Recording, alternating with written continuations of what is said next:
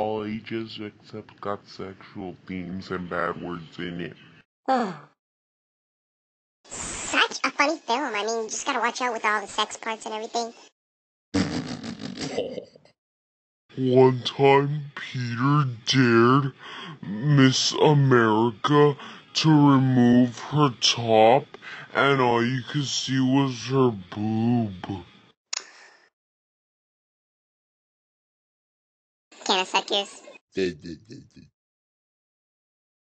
Let's fuck. Hey, no foul language. Oh yeah?